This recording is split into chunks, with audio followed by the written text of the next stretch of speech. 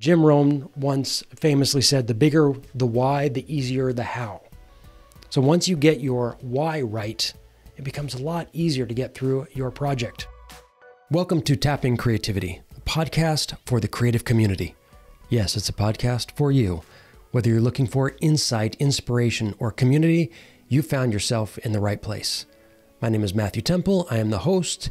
And on this podcast, we go into questions, inspirations, challenges of the creative process. It's about connecting with other artists, hearing what other people are struggling with, their wins, their challenges. If you like what you hear, make sure you subscribe, follow, share. If you really like what you hear, give us a thumbs up or give us some kind of review. And with that, let's hop into this week's episode.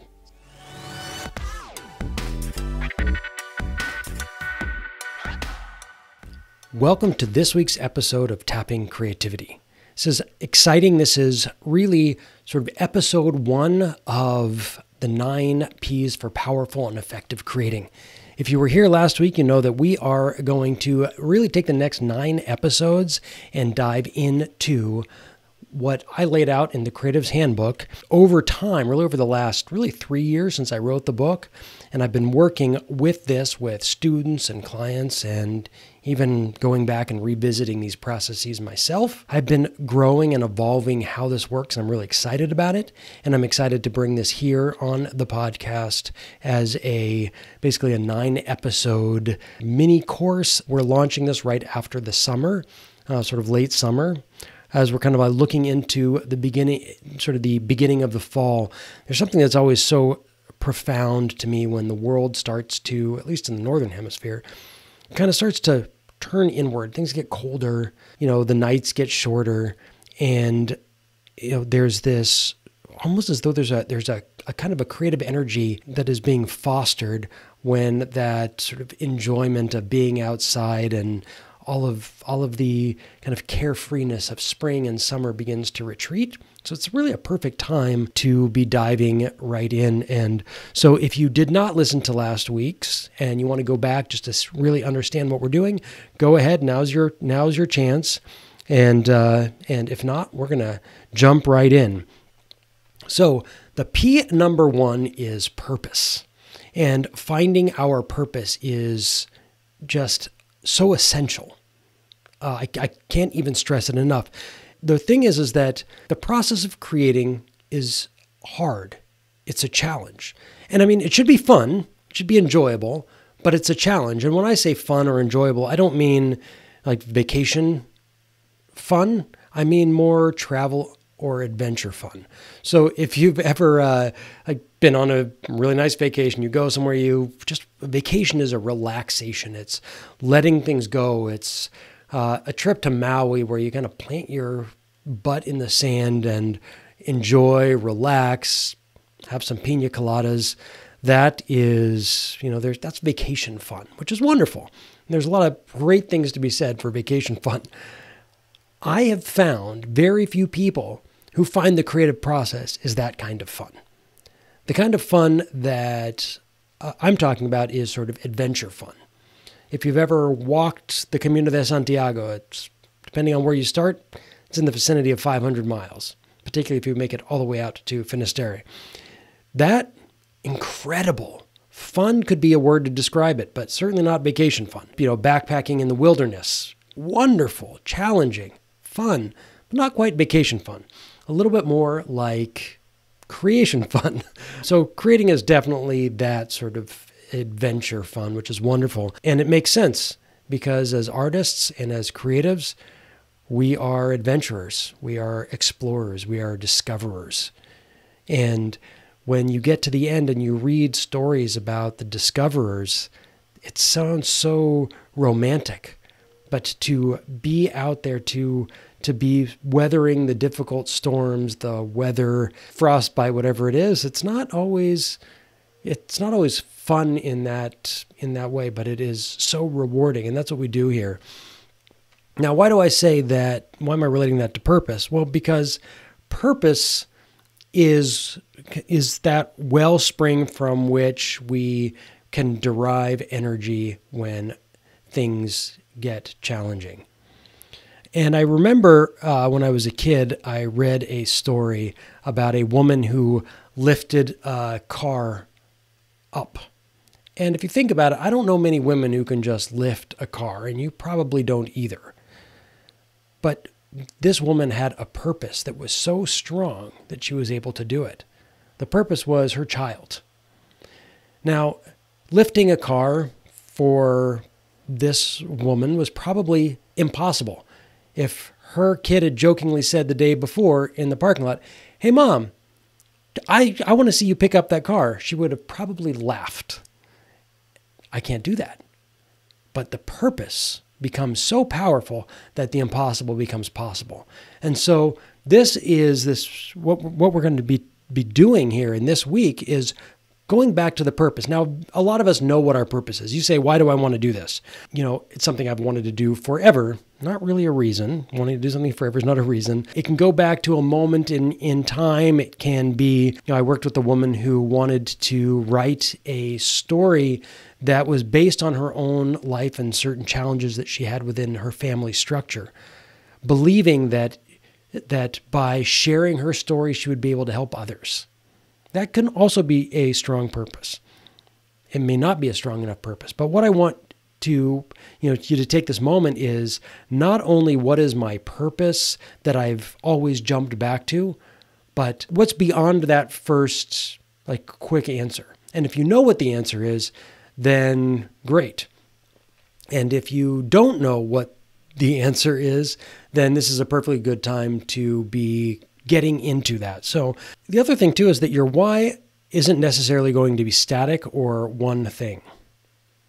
So, what I mean by that is, as you begin working on a project, the reasons for it may change, and that's great. That's okay.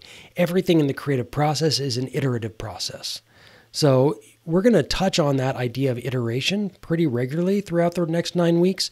But one thing to really sort of focus on is that the reason why I wanted to be a writer when I was 12 and I started th- down this path becomes very different than when I'm 21, very different when I'm 31, 41, etc. Each of these steps along our way, things are going to evolve and also once begin to uncover. So interestingly, the woman that I mentioned before who wanted to write this book had been wanting to write it for 10 years. And one reason why I offered to work with her was that to me, wanting to do something for 10 years and not doing it reeks of tragedy, particularly when the opportunities are there. So it wasn't like uh, she wasn't physically able or didn't have the time or the resources or whatever. There was this other blockage. The fascinating thing was her reason for wanting to do it at a certain point wasn't actually sufficient because it wasn't to help others. She wanted to do it to help herself to help herself actually go in and tell some of these family stories in order to release the power that they had over her. And once she did, she never finished the book. She didn't even want to. She's like, I don't even want to write a book anymore. And to me, that wasn't a failure. To me, that was a success. It was a success because if you think you want to do something, she could have gone 30 years with that feeling of regret or sadness or disappointment in herself because there was something she wanted to do, something she felt necessary for her life, and didn't do it. However, as soon as she started to do it, she realized, oh, my reason for wanting to do this was not to help others, it was to help myself. And I've done that. I've helped myself. And now I get to put that aside. I don't need to write my family story in order to heal or express my creativity. I actually get to discover the next thing that I'm going to do. So these are the understanding where the whys are so important and also allowing that to iterate. When I made Hardball the Girls of Summer, again, it was really personal. I had three daughters who were playing baseball and the challenges that they were facing. I just want to play baseball. I don't want to be the only girl out on the team, or I don't want to be treated differently when I'm playing because I'm a girl instead of a boy, like all these things. And so there was a very personal connection that I had. But then eventually it didn't become about my daughters anymore because they were not playing professional ball, you know, or playing for the U.S. women's national team. And then as I got into that story, it became about, you know, bringing that entire story to life, the sto- these amazing hero stories.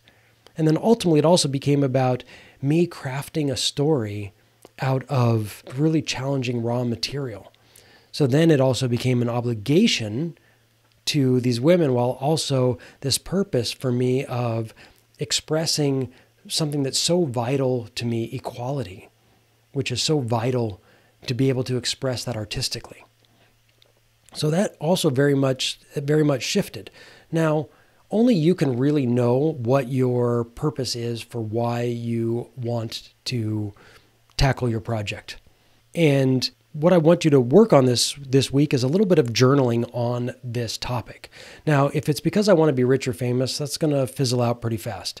That you know your chances are pretty slim, and then it's really just kind of it's a selfish motive, um, which doesn't necessarily going to help you work your way through the challenging times.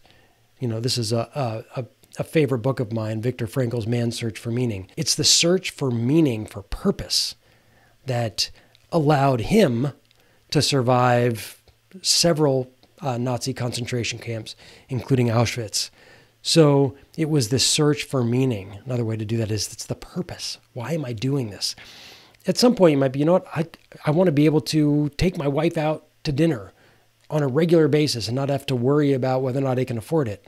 Like, that's that can also be okay. It's going to be, you know, that I mean, that, those are things to be a part of it. I don't censor yourself when you're putting stuff out there, but continue to dig deeper. What are some? What are the things that's going to keep you going when you find that you are, you know, you're exhausted because you're you know, maybe you're working a day job and or maybe you're working less of a day job so you can work on this project so you have less money um, and or you're exhausted because if you're going to actually be working on your project and you've got a day job or you've got kids you're getting up at 5.30 in the morning 5 in the morning 4.30 just to get some work done so the, the pieces that are going to keep you going um, but i want you to kind of get through that all of those pieces like i said if it's just about fame and fortune there are better ways to make make money if you really want to be rich and i don't know about famous but if you want to be rich the life of a creative is not the surest bet or the clearest path to getting there. Sometimes it can be the best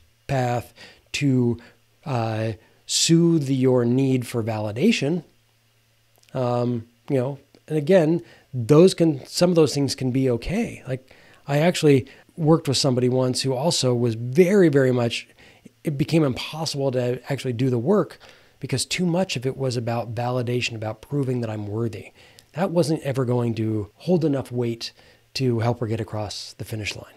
So, in this week's worksheet, we're going to be looking at finding the why. And we're going to go over what those questions are. So, if you're just listening and you want to pause and ponder, I always say write stuff down.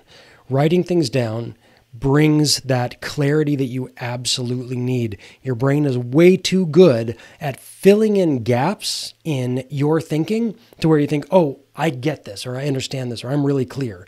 And then your brain is just so good at filling in those blank spots. But as soon as you start writing it down, this is why people don't like to write stuff down. You start writing it and then you realize, oh, wait, it's not as good as I thought it was. I'd rather stay in my brain where it's not down on paper because in my brain, it seems great and I'm going to win an Oscar from this project, but on paper, it's not as good on paper. So therefore, I'd rather keep it in my brain. Well, we got to get it down on paper, including your why. Just knowing your why in your brain is not good enough. You've got to put it on paper. However, I know this is also a podcast, so you may be driving, so that's okay. You can go ahead and think about it, but make sure you take the time to actually write it down later. Uh, and if you need to use your phone and say, hey, Siri, or hey, whoever, and give me a reminder to do this when I get home, do whatever you need to do. Write it down. Because here's the thing as we're going into this worksheet, Jim Rohn once famously said, the bigger the why, the easier the how. So once you get your why right, it becomes a lot easier to get through your project. Now, if Jim Rohn is right, you are going to have the juice that you need once you finish this to get through the challenging times ahead. Okay? So let's get clear on the why. Question number one When did you feel the most alive recently or the last time? So, when was the last time that you felt most alive? What were you doing? And can you name why it felt so good? That's number two. Number three, is who is the person or the people in your life who have inspired you a teacher, a random friend who gave you an unexpected invitation or gift that impacted you. And that one's really kind of fun. You can go all the way back. Some teacher, this like these little things. Like I have a, a guy who I know, barely an acquaintance. Several few years ago, I found him on Facebook and he barely remembered me, but he changed my life. When I was in fifth grade, it was my second year being in a new school in Denver, and everyone played football in recess, and I didn't know how to play football. And uh, Matt Jarebker decided that for whatever reason, he was going to start picking me first, randomly. I was always the last one picked. And then randomly, I started being the first one picked. And he started targeting me with balls. Did he see something in me? I, I can't answer that question totally inspired me. Not a necessarily a creative story. Uh, I have, have, quite a few of those, but anything. The somebody that inspired you. Uh, you know, whatever that was, and that's why I say some of these like unexpected pieces. I want you to because this is not about what inspired me creatively. It's about what inspires you as a human being that connects you deeply to that why. I want you to think about and then write what is it about that person or those people who inspire you. And then, is there someone who makes you feel envious? Okay, that's kind of the other side of this. Someone who makes you feel envious. Who are they? Why do they make you feel that way? And what happened? Okay, now if you're going to write what happened, be clear. Avoid your feelings or your interpretation about it and just write what happened. Not like so and so was mean to me, but so and so said that my painting of a giraffe looked like a Tyrannosaurus rex. That would be what they actually said. The way I felt about it might be they think I'm a bad artist. Not at all what they said. That's not what they said. That's the way I interpreted it. Okay? Uh, they weren't speaking meanly. Uh, their tone of voice is also an interpretation. So just be very, very clear. And then lastly, I want you to think about why you want to create this project. And if you're not clear on the project, we're going to get into that next uh, next week. So you can hold that one if you want. But if you've got a project or a few projects, or you're trying to figure out, oh, I got a bunch of different things, we're going to get into that. That'll really be next week's episode. But go ahead and you can think if there's something that's clear, some things like, why? Why do you want to do this or these projects? Or why do you want to do any project? Why are you still listening to this dang podcast 20 minutes later? That's the questions. Okay, you'll find that worksheet in the show notes. I will see you next time. We're doing these every couple of weeks. So uh, that gives you two weeks to work on this, uh, to really get clear on the why. And uh, then we'll jump into the what, into your project, into the second P of powerful and effective creating next week. In the meantime, have a ton of fun thoughts, questions, anything, reach out to me, Matthew at MatthewCTemple.com. I'm pretty good at responding to emails. If you message me on Instagram at Matthew C. Temple, Facebook at Matthew C. Temple Official, uh, Twitter at Matthew C. Temple, uh, you know, I, I, I really try to make an effort to get back to people. If you really want to do a one on one session, I always have just a few little slots available. Um, you can reach out to me or visit MatthewCTemple.com forward slash book. That is to book a time. If I have any times, they'll be up there, and you we just might get a chance to work uh, like on a session together, just absolutely no cost. Always try to do that with a few people every once in a while. Try and keep some time open. So there you have it. Okay, see you next time. Have a beautiful, beautiful couple weeks of discovering the why. If you are looking for additional inspiration, you can check out some of the blogs on matthewctemple.com forward slash blog. Uh, you can grab a copy of the Creative's Handbook if you would so like your own physical or digital copy. And if you're looking for something that has my name nowhere near it, uh, Viktor Frankl's Man's Search for Meaning, the first portion of this book about his experience, will certainly give you some inspiration into why. I also might have a few other resources on why in the show notes. Try and get to that. In the meantime, see you next time.